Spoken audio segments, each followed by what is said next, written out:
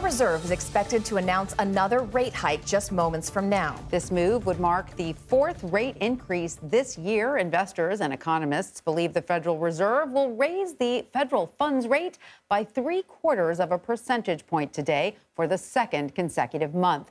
Now, this action would bring the benchmark interest rate to the highest it has been since the summer before the COVID 19 pandemic.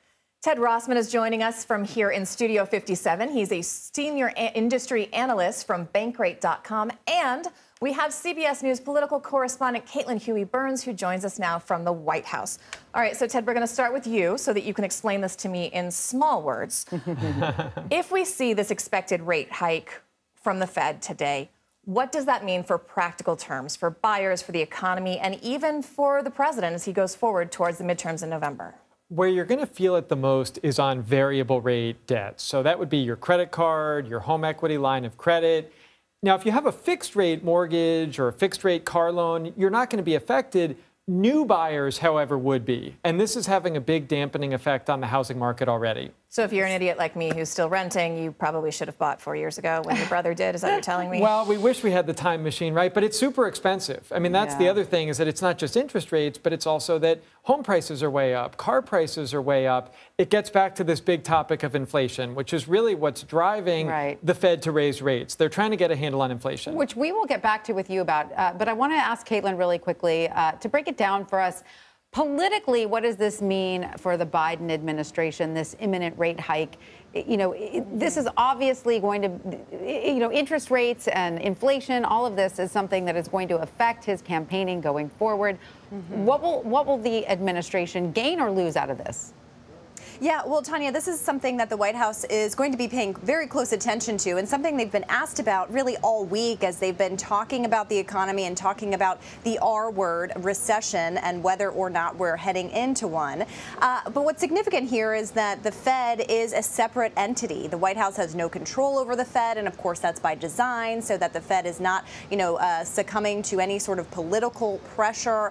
Um, but at the same time, you know, this is all about inflation, as Ted mentioned, and that, of course, is a political problem for this White House. Yesterday, the White House economic advisor told us that inflation is a top priority. They know that even as they say there are positive indications in the economy that job, you know, the, the unemployment rate is low, uh, other sectors that they're looking at um, are, are okay and show kind of steady. They know that the economy or the uh, market has been shrinking, and they are concerned about, you know, how voters, how everyday people are internalizing that. And we're seeing that kind of registering in polling, but also in um, data points like the consumer uh, confidence uh, index, which dropped yesterday as well. So the White House is in this difficult situation where inflation is a huge issue. Things cost a lot of money now. Uh, people, while the economy may look good in terms of the jobs numbers, they know that people are just not feeling good about the economy, and that becomes a political problem for the people in power. All right, stand by because I think we have that number. We do, and- and it is as expected. The Fed raised it by three quarters of a percentage point, Ted. So they really had telegraphed that in advance. What I'll be looking for at the bottom of the hour when Fed Chair Jerome Powell meets the media is what happens next? Will there be clues about the next meeting? Investors are kind of battling it out. Is it going to be a 50 basis point hike, 75? There's a cumulative effect to all of this. We've already seen, as you said, two and a quarter points this year. They're not done. I mean, we could easily see another point by the end of the year. That's where it really starts to add up on people. But this is not an exact science, right? Yeah. I, I heard someone liken it to kind of chucking darts, and they're hoping to hit the target, but there's no guarantee because there's a chance they could hike rates too much, and then it ends up exacerbating what could be a recession. Correct? That's a worry. Yeah. So what the Fed's trying to do is to get a handle on inflation. So they're putting the brakes on the economy. There's a lag, as you said, maybe six, even 12 months to what they do. Do they hit the brakes too hard? The other thing is the Fed is mostly influencing demand. So are people interested in taking out new loans? Are businesses investing? They can't control the supply side as much.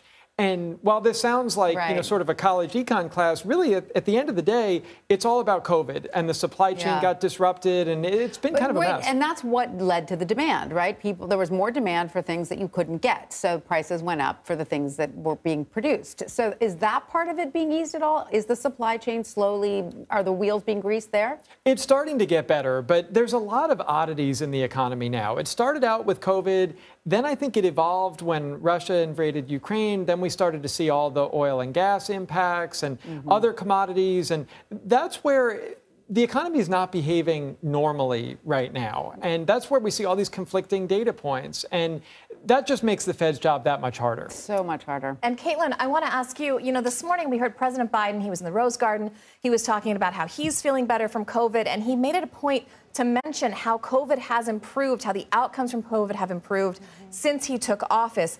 Was that him trying to remind America of some of the good things his administration had done before we see this rate hike and then potentially different economic numbers that may or may not be good coming out tomorrow? Yeah, it's a it's a, a couple of complicating factors for the White House if you think about it. On one hand, this is a president who ran against ending the pandemic. Um, they have worked to get vaccines out, of course, but then you know it was essentially inevitable that he would uh, get COVID. And so part of what today was was about showing, look, I'm testing negative. The this is because I got vaccinated and boosted. Um, a, part a, a message for the people, but also to say, look, I'm back at work, and to kind of show a president in command. But of course, hovering over all of this is the biggest liability for this president, which is the economy. That you know we're just a few months away from the midterm elections. Democrats know that they um, you know face an uphill battle on keeping the House and the Senate in control. Um, so the political dynamic here is really focused on what the president can do. Part of it is messaging. You know, trying to tell people, I understand your pain. I know prices are high. I know gas prices are high, but here's what we're trying to do about it. Something that they're, you know, celebrating today is the passage in the Senate of the CHIPS bill. You've probably heard a lot about this. Those chips that are pretty much in everything that we use, um, every electronic, you know, automobiles. Um, this is going to be something that they think will address the supply chain issues and also kind of create some confidence in the markets, which will also have an effect over all of this. So that's what they're championing. Um, when you look at the Republican side, however, you know, they're in this uh, situation too where, on one hand, politically, it looks good for you if the economy is not doing well for the party in power, which you're not in power. But on the other hand, you don't want to be seen as cheering for a negative economy, right? Right, right. Um, you want to be seen as trying to, you know, do what you can. So there are questions for Republicans about what you would do differently, and that's something that is going to be kind of a defining issue for this midterm election. All right. So joining the conversation now is Michelle Singletary. She's a personal finance columnist for the Washington Post. Michelle, thanks for joining on. Um, so employment numbers remain strong. This goes back to the thing we've been talking to Ted about this sort of mixed economic messaging, right? Employment numbers remain strong, meaning employers have so far remained undeterred, employers and I guess business owners, uh, undeterred by borrowing costs. Should we expect this trend to continue, or what what point can the rising sort of interest rates here start to affect employers and their employment outlook? Well, if the cost of borrowing continues to go up, obviously employers are going to think, well, you know, maybe I should pull back. Maybe I won't be, maybe I'll hire one person instead of two because their costs are going up. So we need to look at all of the factors to determine how bad the economy is going. And, and what I've been trying to do in my column, and actually Ted has been so great to help me as I've been writing about credit reports, is that, or, credit cards, is that we don't want people who can afford to spend to pull back those are the consumers who have saved to go on vacation. They've saved to do that Mm-hmm. home improvement. And maybe they've got to pay a little bit more for the car they want, but they have it in their budget to Mhm. do it. Those folks, we need to not panic because you are going to be the engine that keeps us um, from maybe going into a recession or having the recession last longer than it needs to last. I love that. That's such a good point. Don't panic. If you have the money to spend, don't panic. Keep spending. Yeah, but when you tell someone not to panic, the first thing they do is panic. So, I I mean, Ted, we keep talking about this this R word, the recession, and it's almost like you know the the fear of the thing can create the thing, right? So when you look That's at right. these different factors. Um, What do you think when you when you're looking at these rate hikes, when you're looking at the economy overall, if when these GDP numbers come out tomorrow, if we see a second straight quarter of decline, to you, does that equate to a recession, or do all these other factors kind of muddy what's the traditional definition of that word? To a lot of people, it would. What's funny is that for a lot of the past 10 years, I'll say, we talked about this jobless recovery, that it took a long time to come out of the Great Recession, took a very long time for unemployment to go down. People now are starting to talk about this term about a job full recession. So, you know, we had the jobless recovery. Now we may be having a job full recession. What you can do personally is just practice those fundamentals. Mm-hmm. So, improve the emergency savings. I know it's easier said than done, but to the extent that you can save and pay down debt and really just control what you can because a lot is out of our control. But that is tightening the, you know, that's that means spending less, right? And it gets what hard you, when prices go up. It yeah, gets harder and harder to save. It does. So, Caitlin, I want to turn back to you now. Federal Reserve Chair Jerome Powell will hold a briefing at the conclusion of today's meeting. What can we expect him to say? Well, this will be an announcement of this rate hike and possibly explaining why the Fed is taking this step. As you mentioned, this is the fourth time this year that they have increased rates, and this is all about uh, trying to tame inflation. Now, it's important to remember that the Fed is a separate entity from the White House, from Congress. It operates on its own, and that's why you know it, it does so because it doesn't want to be uh, entwined in any sort of political decision about this. What's interesting though about Powell is remember he's a holdover from the Trump administration. He was uh, re-nominated by President Biden, and of course reconfirmed by the Senate. Um, but he is a more you know moderate Republican of that that mold, and Biden decided to keep him on. Um, now, they are separate entities, but this is something that the White House has to respond to. You know, this question about how people are feeling about the economy, what raising rates means for inflation, but also a question of, you know, will they continue to raise rates going forward? Is there a risk of kind of overdoing it? That's something that has been asked of the White House, and they say, look, that's separate. Here's what we're trying to do to control prices and try to do things to bring prices down for the average American. Uh, so these are two, you know, entities that are completely separate um, for political reasons, but are, you know, intertwined in terms of the politics.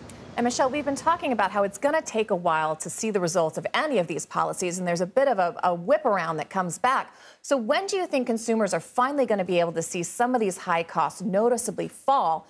And will today's impact have any action on uh, Will today's action, excuse me, have any impact on that timeline? Will it come about faster because of what the Fed did today? Well, for as consumers, there's not much you can do except manage your own personal finances. So I looked, there's really three pockets of consumers. Those who are struggling, they were struggling for the pandemic and, and rising inflation and all these costs hurts them even more. And so for those, we say, you know, apply for whatever benefits you can, cut if you haven't already cut, um, and maybe even do some shared housing to cut the biggest part of your budget, which is housing. And then there's the middle group group of Americans that are maybe living paycheck to paycheck, but just, you know, doing sort of okay. And then those in the middle who are doing pretty okay. They, you know, they've got good fat savings. They are putting money in their retirement account. They're taking vacations. Those folks, those middle folks, you might want to continue doing what you're doing. However, to Ted's point, make sure that your emergency savings is where it needs to be in case something happens. We are truly in a recession. And then there are prosperous Americans, those who are, you know, it's uncomfortable. It it stings when you have to pay a little bit more, but you're in a position to continue continue to do what you're doing. Just make sure you've got that emergency savings, continue to save for your retirement, um, and then watch your spending. Maybe you go out, you know, twice a week instead of your typical three times a week, so that you make sure that you have the savings you need if, mm-hmm. in fact, we do uh, uh, barrel into a recession. I just want to note quickly, perhaps not surprisingly, the markets are reacting favorably to this expected news from the Fed. They are. Uh, stock prices are going up a little bit. So uh, I want to thank everyone Caitlin Huey Burns, Ted Rossman, and Michelle Singletary. Thank you for joining us. We really appreciate it.